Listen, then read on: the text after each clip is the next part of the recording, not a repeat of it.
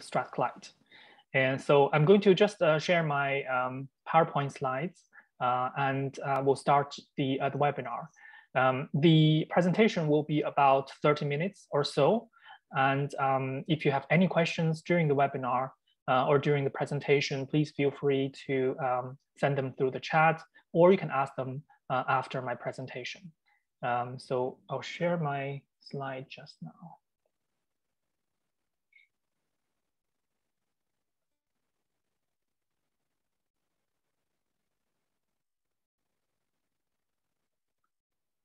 Okay, so uh, welcome to this webinar. Uh, my name is Alan Huang. I'm the course leader for the MSc TESOL and Intercultural Communication.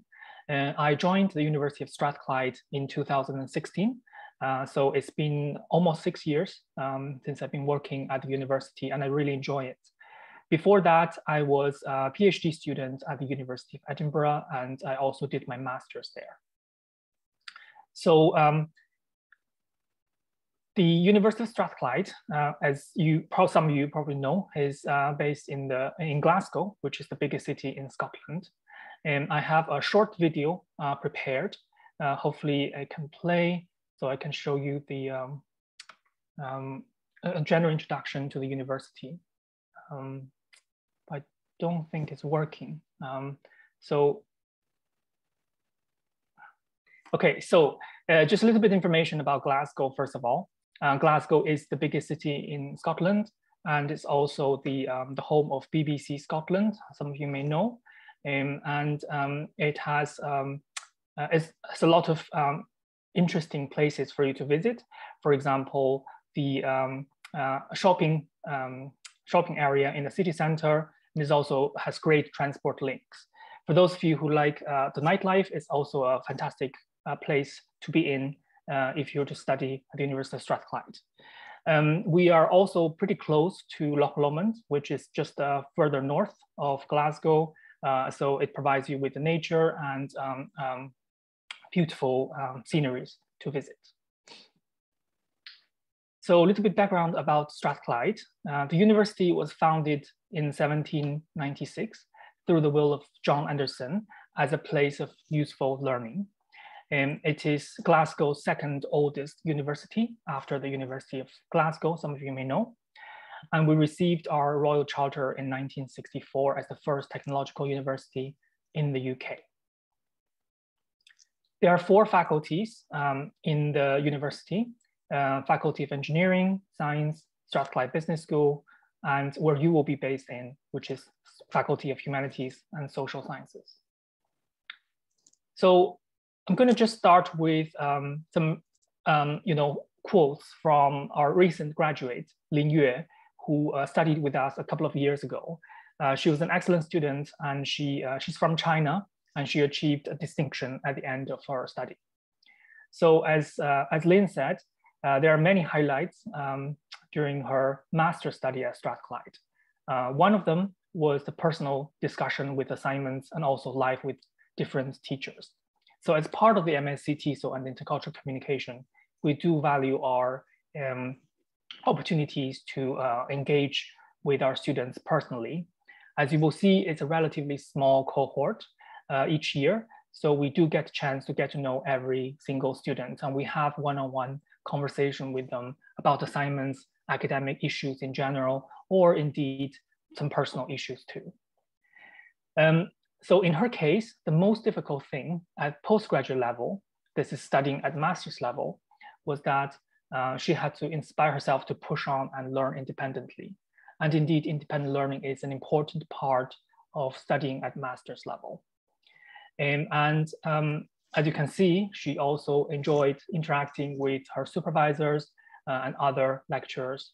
Uh, and uh, we are all trying to be really supportive because we all want you to graduate and hopefully to achieve the best outcome in the end. And um, so, um, yeah, so uh, as you can see, she really enjoyed uh, studying at Strathclyde. Uh, she's got some advice for future students, uh, or indeed you guys, if you're thinking of studying with us. Um, the first advice is to um, spend some time previewing the materials before the class. Uh, being fully prepared always inspired her when she attended lectures and seminars. So we do highlight this a lot to our students that you have to come to seminars and lectures prepared. We will give you a pre-sessional readings. We'll give you um, module handbooks, reading lists to prepare you for the, um, the questions that you will get for the seminars. And indeed, it's part of the learning process.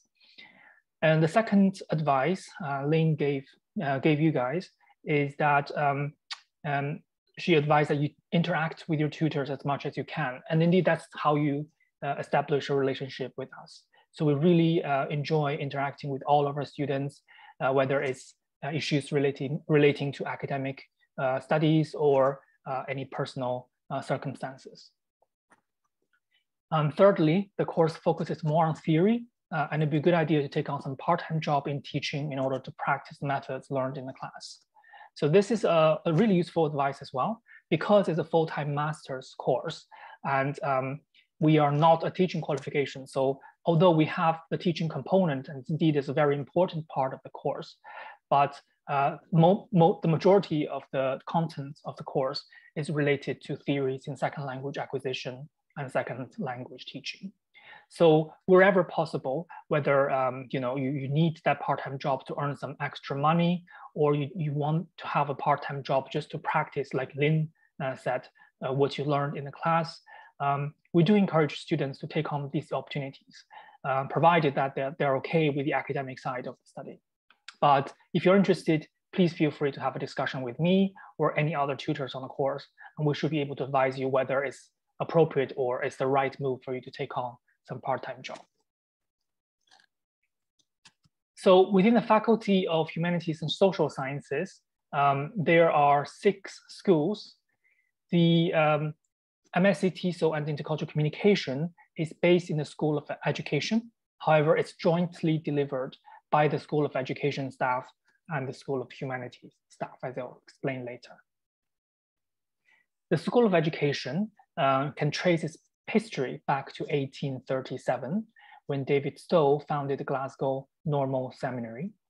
Um, and we are one of the first teacher education institutions in the UK and later, it became Jordanhill College of Education. And Jordanhill College merged with the University of Strathclyde in 1993. So this is a little bit background about the School of Education. We have a really active Twitter account at StrathEDU. So if you're interested, you can follow um, our Strathclyde uh, Education, uh, School of Education account.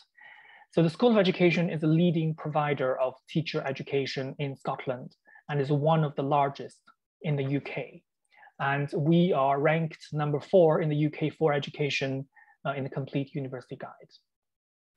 We have over 100 academic staff uh, within the school uh, who teach and research on various areas related to education, including language education and teacher education. So um, all of our staff are active in research, and we also bring the knowledge that we we learn from research and from uh, knowledge exchange to our teaching. So it really allows us to bring a wide range of experience to professional preparation for our students. And because the MSc TESOL uh, and intercultural communication students will become future English language teachers, uh, we do have uh, a number, a good number of um, colleagues who specializes uh, in language education. Um, so many of our colleagues have also have Twitter accounts, including myself. So if you are interested, you can follow me or uh, one of our other colleagues, um, Thomas uh, John as well. Some background about the MSc TESOL and Intercultural Communication course. The course fundamentally addresses the questions about learning, teaching, and use of English by speakers of other languages from an intercultural communication perspective. Students will gain a better understanding of language learning and language use in today's increasingly multilingual and multicultural society. Many of our students in the past are uh, from a non-English speaking background. So um, it's really interesting to have students from a variety of backgrounds. Some of them are so-called native speakers, others are not uh, so-called native speakers, but they are really fluent in the, uh, the use of English language. So it's really nice to see a group of students who uh, are able to interact with each other, able to challenge each other's views on a range of issues on language learning and teaching in the class. And during the course, during your study at the course, you will also get to explore issues across disciplines and to specialize in one area. As I said before, the course uh, is jointly delivered by the School of Education staff and the School of Humanities staff. So you do get to experience both um, disciplines, um, including those who specialize in education sciences and those who specializes in literary studies. So you can choose which area or which discipline you'd like to focus more. Um, for example, for your optional modules and also for your final uh, piece of work, dissertation. You will have the opportunities to develop the theoretical knowledge and practical skills for language related uh, careers. And so in one of the modules, the one I lead is called Contemporary Issues in Language Teaching. I'm going to talk about that in a second. You get to actually carry out uh, a series of micro teaching activities where you teach in smaller groups uh, each other uh, a few lessons just to get you a taste of what it's like to be an English language teacher. And I do recognize that some of you already have some teaching experience, others don't. So it can be challenging for some students but our overall goal is to give you an idea of what it's like to apply the theories you learn in the class to practice. So the course uh, draws on the expertise of educationalists, linguists, literary and cultural studies from both schools. So um, here are some of the colleagues that you will see um, uh, when you study on the course, including myself, who is course leader, and we also have uh, Joanna McPake, Nigel, Tomasz, Celia, Alan Blake, Eleanor, Elspeth, and Kirsty. So we offer a wide range of optional modules, as you can see. However, um, there are five core modules, uh, three uh, subject-specific core modules. These include language learning in the multilingual world, introduction to intercultural communication, contemporary issues in language teaching, and then we also have a research methodologies and reasoning course, um, and then the final dissertation. Each of the um, 20 credit course uh, will make up the final uh, credit um, summation for the course. The dissertation, however, is worth 60 credits. So it's tripled uh, the, the, the credit rate, credit weighting. Students can choose uh, two optional modules from the list, including uh, curriculum development in TESOL, digital technologies in language teaching, reimagining TESOL in the 21st century, transcultural fandom and British popular culture, narrative processing across languages, cultures and media, and finally contemporary uh, Scottish cultural studies.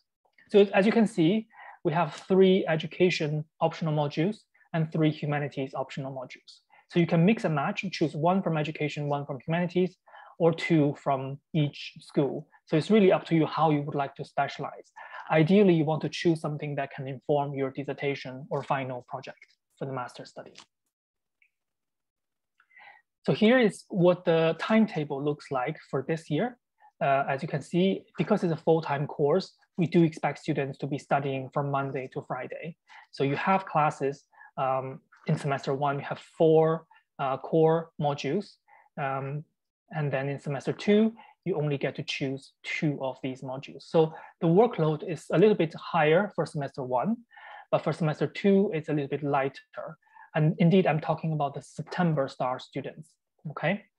And so the first compulsory module is called language learning in a multilingual world. And this module is based on our shared reading of one important journal article by the Douglas Fir Group, which reviews key ideas relating to second language acquisition. So the module leader for this uh, module is Joanna McPake. Each week, you will look at, uh, look at a different set of issues raised in this article and consider how these help us think about context for language learning, language processes, goals, and outcomes. Lectures will introduce these issues and in the seminars, you will explore them in more detail through discussion and through reflections on your own experiences in blog format. So this is the first uh, compulsory module. The second compulsory module, Contemporary Issues in Language Teaching, is the module I lead. This module offers students the opportunity to develop a critical understanding of key issues relating to second and foreign language education. Students will get to reflect on their own language learning and teaching experiences and debate the prevalent ideas in the field of language teaching. Students will also develop the practical skills of analyzing, evaluating, and designing innovative language teaching materials. So as I said before, this module does provide you the opportunity to try out some of the teaching methods that we talk about in the class and to also design a series of lessons as part of the final assignments. This module has a particular focus on the impact of sociocultural theory on language education. So looking at the use of artifacts in our everyday life and how we use that to communicate, how we use that uh, as a medium for language learning and teaching. The third compulsory module is called Introduction to Intercultural Communication. This class critically applies the linguistic theory uh, of communication and theoretical approaches to culture to a range of problems in intercultural communication. This is a humanities class, so it's a stronger focus on literary studies. And we explore what a culture is and uh, whether cultures differ systematically.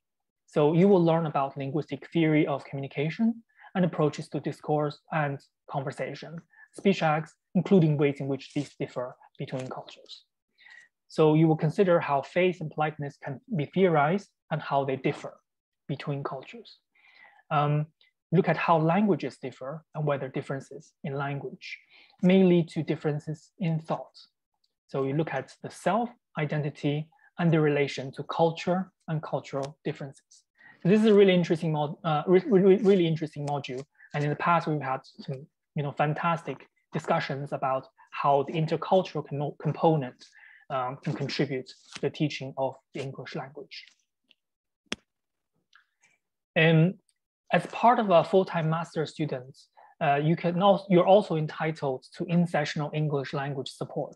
So if you're if English is not your first language, you're not very confident with the, the use of English English language uh, when you arrive in the UK, you are entitled free in-sessional English language classes um, um, offered by the university.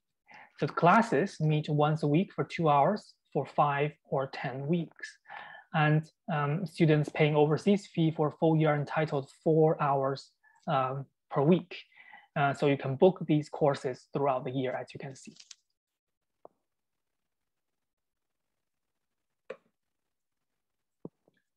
In the in-sessional courses, um, you know, have a, a, range of topics. So depending on your needs, maybe you want to focus more on spoken fluency and discussion skills, or maybe you want to focus on vocabulary development or postgraduate writing. So you can choose which um, module you would like to, uh, to study, but this is part of the um, you know, services that the university provides to all international students. So when you come to Strathclyde, do take advantage of these uh, fantastic opportunities. And by the way, they also offer one-on-one -on -one consultations.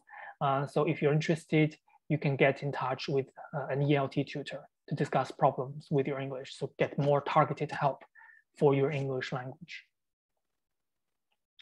As I said before, we are very active on Twitter. So if you're interested, feel free uh, to follow us on Twitter with the School of Education handle strath.edu. We also have a School of Education podcast, which, um, where we discuss a number of um, education-related issues. Actually, I have an episode on that podcast as well, uh, talking about the MSc so and intercultural communication. So please feel free to listen to the podcast to find out more about the course. Uh, but we also have like mini lectures all for free, so you can go to Anchor to listen to the podcast. There's also a School of Education blog that you can um, you can read um, so we would invite academics in the School of Education to write a short piece um, every few weeks on a range of issues again. So feel free to check them out.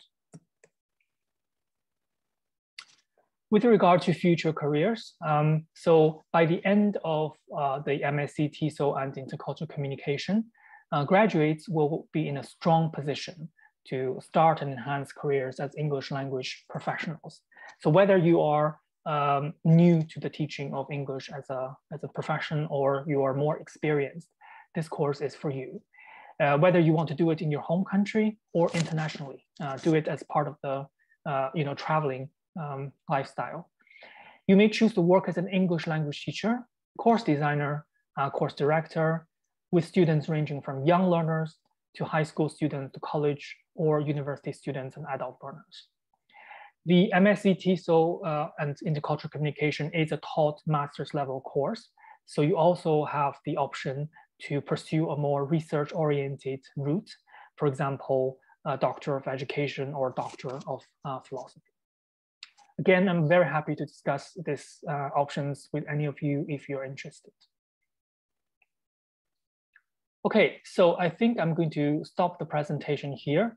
I'm happy to take questions from now.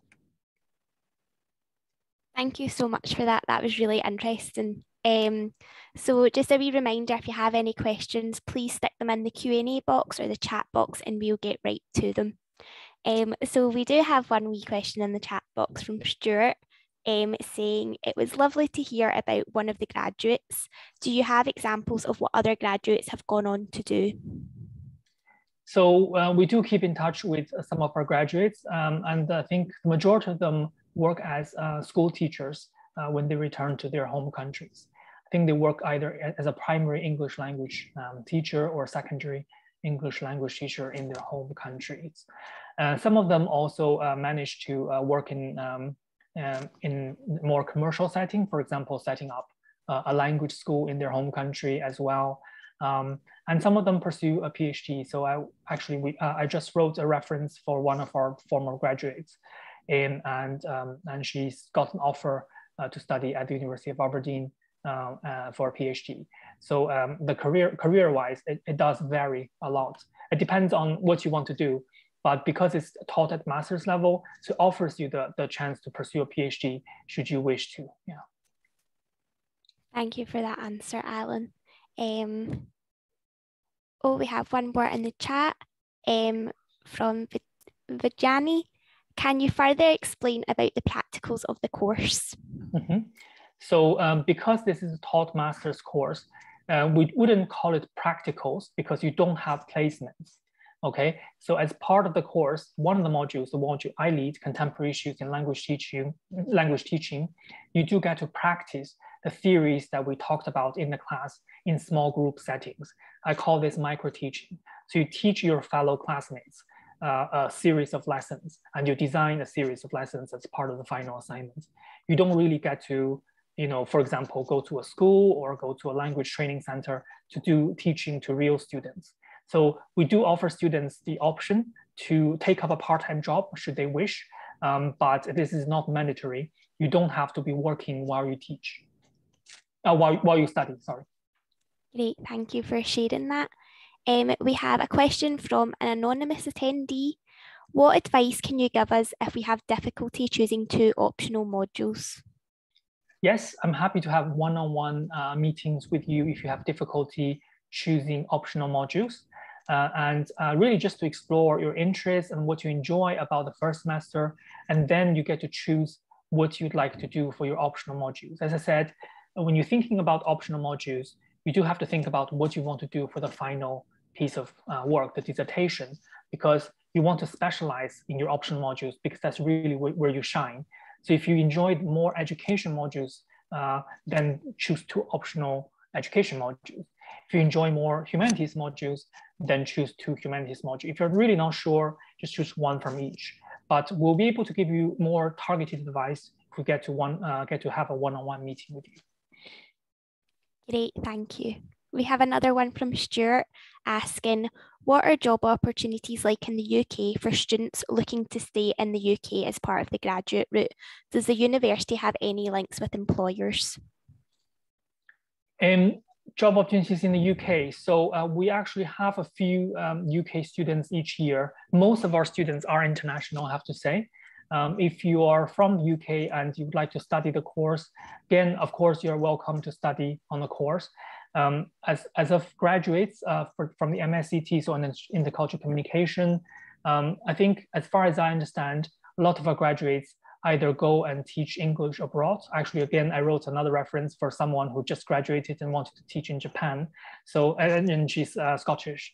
So you can you can either use the um, masters as a part of your qualifications to apply for jobs, uh, English language teaching jobs abroad, or if you want to stay in the UK, you can either become uh, um, an EAL language teacher, uh, language teacher, English as an additional language to help um, you know, uh, migrant uh, children in schools in the UK, or you can train to become an English language teacher uh, by doing uh, our PGDE English course.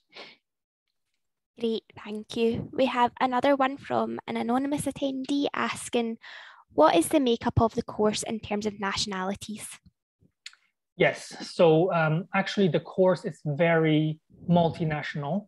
Um, so we have students coming from China, we have students coming from uh, Saudi Arabia and other Middle Eastern countries. We also have students from India, Thailand, um, Vietnam, uh, and um, the UK, of course, we have um, Scottish students on the course too. Um, and we also have students from some European countries like uh, Greek, for example, last year. So it's very multinational. So you do get to, um, you know, make new friends from different countries, from different cultures. And indeed, it's part of the course that I really enjoy, which is interacting with students from different cultures. Thank you for that. Um, yeah, if you've got any other questions, please pop them in the Q&A box and we'll answer them for you. Um, but just a reminder, um, if you would like a copy of this recording after it's done, please just get in contact with us and we can send it over to you if you want it.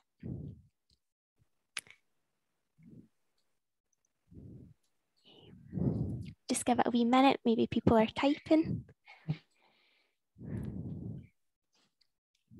Oh, we have another one from the anonymous attendee. How much of the course is taking place face-to-face -face this year with COVID restrictions? So for this year, um, we aim to have half of the course face-to-face -face and the other half online. Uh, and we're hoping to increase more face-to-face -face content in semester two. Um, so um, I'm, I'm, I'm, not sure whether you're thinking of joining us in January or in September, but uh, I'm pretty sure from September 2022, um, we'll probably be uh, pretty much back to face-to-face -face because it's a full-time uh, face-to-face course. But from January, we're still not sure, but we do have a number of modules who will offer uh, more than half or half of the face-to-face, -face, uh, half of the content face-to-face. So my advice to be is to, to be on campus uh, when the when the course starts and um, just enjoy enjoy the the blended learning experience. It's really interesting. It's been really interesting year actually uh, to have the blended learning experience. Yeah. Great, thank you for sharing that. Um, just as a wee add on for that answer there, it is all dependent on sort of what the government tells us to do as well. So sometimes we can't give a definite answer for that either, which I know could be annoying, but it is all just dependent on what the government sort of tells us we have to do. Yeah, absolutely. Oh, another one. Are there opportunities to choose classes from other courses as optionals? Unfortunately not, because we already offer six uh, optional modules. So students should choose from these six um, classes. However, because I'm the course director, I do have the authority to authorize you to take a class from another course, should you wish. So if you are thinking of that when you are on the course, you should schedule a meeting with me and we'll have a chat about it. And you give me, you tell me why you would like to take that course. If I think it's a valid, there's a valid reason. For example, if you want to do a dissertation on by using statistical methods and you want to take a statistics course, but obviously statistics is not part of our course. So if that's what you want to do for your dissertation, I'm going to allow you to do that. So it is possible, but um, it does have to be agreed between you and I. Great, thank you. Um, just wait to see if any more come in. Um, that we've answered quite a few. Um, let's see. um, just from the anonymous attendee saying that was really interesting. Thank you. Thank you. Yeah, no problem. we, we hope that it's helped you, hope that it's answered some of your questions. Um, oh, we have another one from Vijani. Is it compulsory to to do the PGDE in this course before entering for the course? So I think is do you have to do a PGDE before doing this course? No, no, you don't have to do a PGDE. All you need is a first degree, um, and um, and then you can enroll on the course. The PGD is something completely different. Yeah, it's a teacher training course. Great, thank you. Um, let's see if anything else comes in. Um,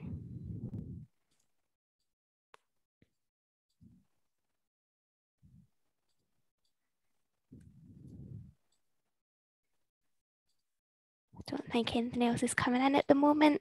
Um, but yeah, as I said, please get in contact with us if you do think of any other questions. Um, you can get in contact with Alan or you can get in contact um, with us. We also have a thing called UniBuddy, um, which has some current students on it. So if you're sort of wanting to ask some students about their perspective, um, their student experience, student life, please look that up. Um, it's Chat to an Ambassador at University of Strathclyde, and you can ask about Glasgow, about social life, about the union. Um, so please keep in that keep that in mind if you have any questions about that.